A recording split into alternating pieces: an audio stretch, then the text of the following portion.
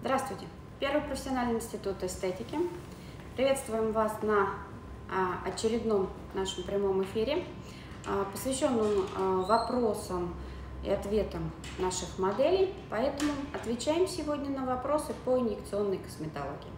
Татьяна Игоревна, скажите, с какого возраста можно делать инъекции красоты?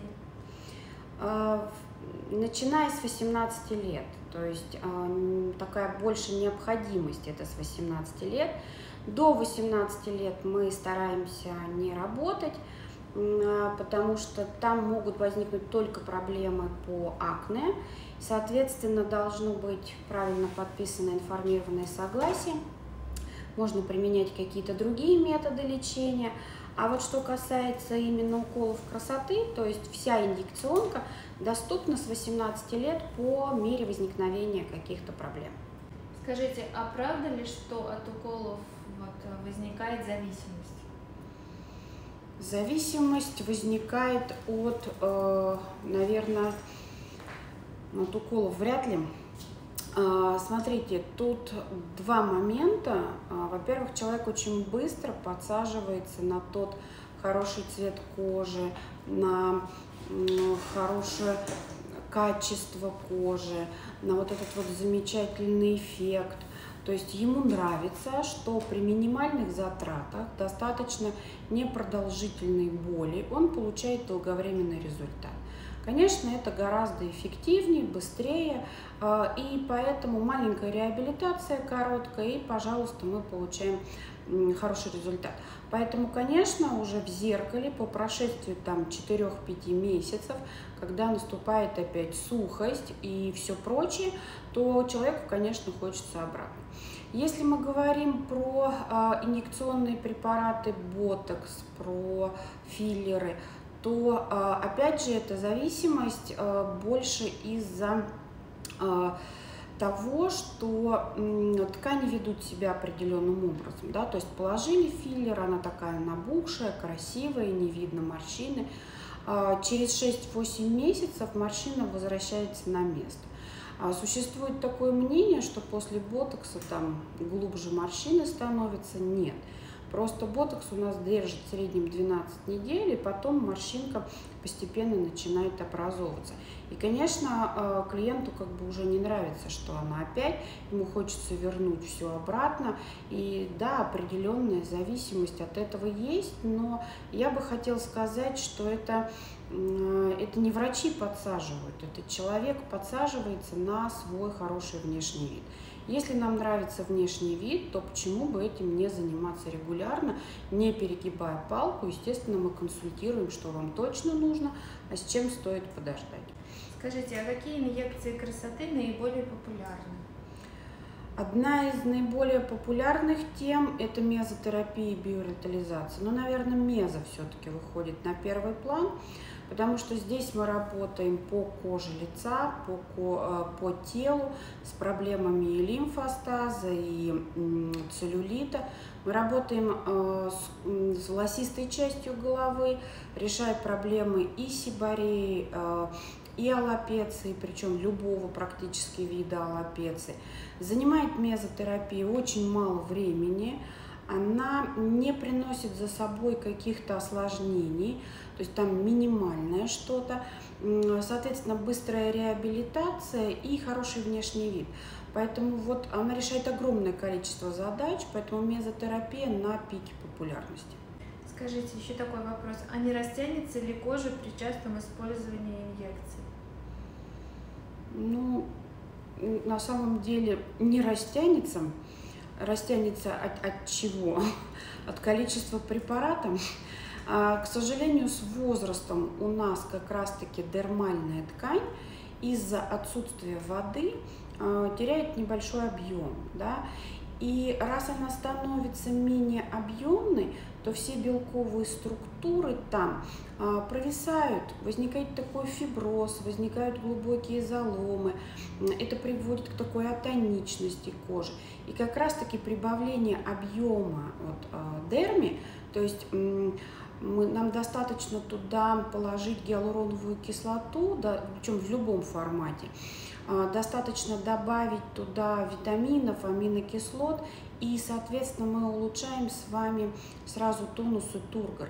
Кожа восстанавливается по объему, наполняемость больше, кожа становится более упругая, и как раз-таки она натягивается. То есть верхний эпидермис натягивается, мы получаем с вами идеально гладкое лицо.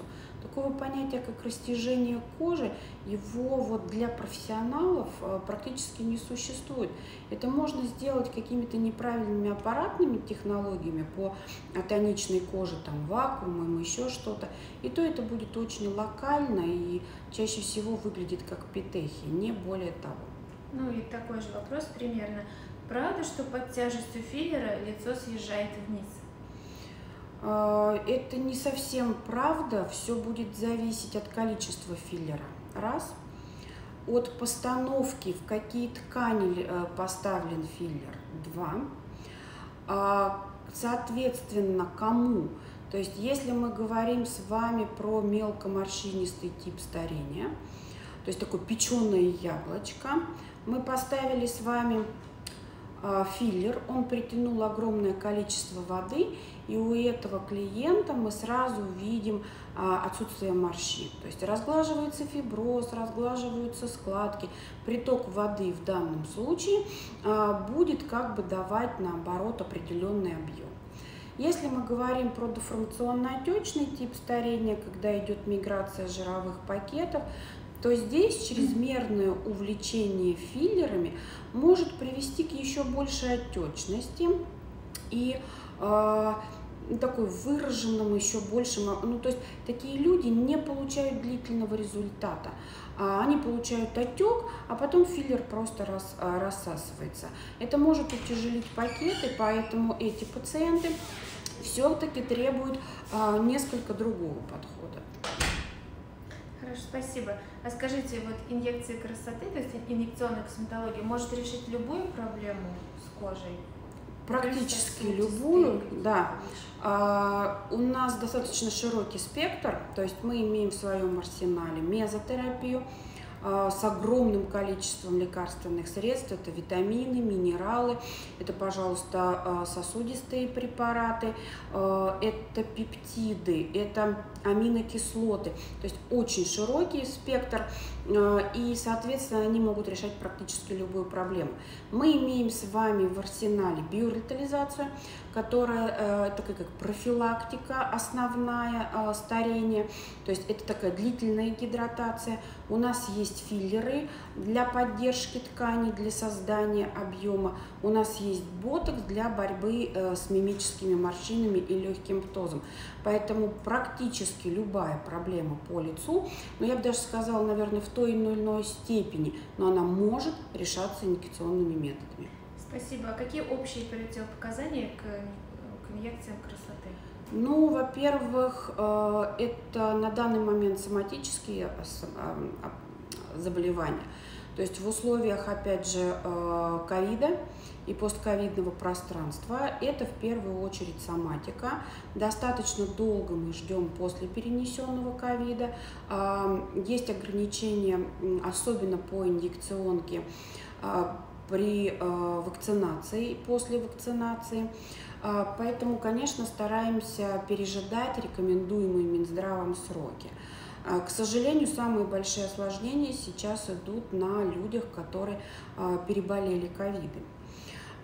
Еще что? Это психические заболевания, в частности, это эпилепсия, это паническая боязнь иглы, это будет э, стопроцентное противопоказание. Беременность, лактация являются стопроцентными противопоказаниями. А дальше все от инъекции к инъекциям э, меняется. То есть у нас должен быть э, чистый кожный покров, соответственно, никаких повреждений, никаких пиодермий, там больше пяти воспалительных пустул мы не берем. А, плюс к этому не должно быть хронических заболеваний, связанных с кожных проявлением. То есть это псориазы, это атопические дерматиты. С особой осторожностью относимся к людям с аутоиммунными заболеваниями. А, с особой осторожностью относимся к онкологическим заболеваниям в анамнезе. Опять для каждой инъекции а, это будет свое. Дальше все идет в более таком частном, то есть насколько аллергия, аллергический статус, на данный момент самочувствие, в каких-то препаратах важно сердечно-сосудистое давление, в каких-то препаратах мы обращаем внимание даже на а, работу пищеварительного тракта. То есть к каждому препарату существует еще такой ряд своих собственных противопоказаний, не очень большой, но тем не менее общие они а, всегда одни и те же. И последний вопрос. Как правильно ухаживать за кожей лица после процедур? Процедуры инъекционные считаются достаточно травматичными, поэтому требуют определенного ухода, от которого будет зависеть, насколько препарат усвоится, во-первых, во-вторых, э, насколько это будет эффективно, в-третьих, как быстро пройдет реабилитация. Есть общие показания, то есть так как у нас с вами травмация кожного покрова всегда, то, соответственно, нельзя там сутки наносить косметику, а, нельзя подвергать эту область а, какой-то бактериальной атаки, то есть нельзя умываться, нельзя а, наносить на нее какие-то крема. Это должен быть только хлоргексидин, это должен быть только пантенол или бипантен. Присоединение вторичной инфекции в любых инъекциях очень часто зависит от тепловых э, смещений. Поэтому несколько дней, а то и до недели, если в случае филлеров или ботулотоксина, мы говорим о том, что нельзя горячих процедур. Это будут входить горячие ванны, сауны, солярии.